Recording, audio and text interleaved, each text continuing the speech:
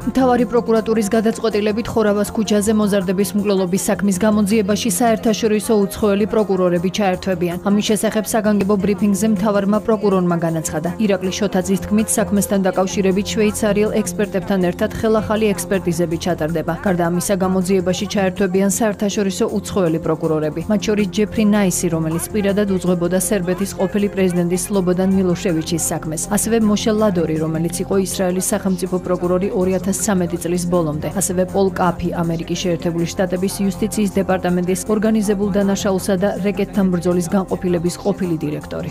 საეჭვოდ არ ხვდით სამხარაულის ბიუროს მიერ ჩატარებულ არც ერთ ექსპერტიზას, თუმცა სწორედ იმისთვის, რომ საზოგადოებას გაეცეს ყველა კითხვაზე პასუხი. სწორედ იმისთვის, რომ დაზარალებულ ზაზას არალიძეს გაეცეს მის კითხვებზე პასუხი ჩატარებულ ექსპერტიზებთან დაკავშირებით ჩვენ შევთანხმდით შვეიცარიის ქალაქ ლოზანის საექსპერტო ბიუროსთან რომ ექსპერტიზა ჩატარდება ყველა ის ექსპერტიზა რომელიც ჩატარებული არის სამხარაულის ბიუროს მიერ ჩატარდება ასევე შვეიცარიის საექსპერტო ბიუროში. გადავწყვიტეთ ამ სისხლის სამართლის საქმის გამოძიებაში ჩავრთოთ საერთაშორისო უცხოელი პროკურორები რომლებიც ჩაერთვებიან უშუალოდ გამოძიების პროცესში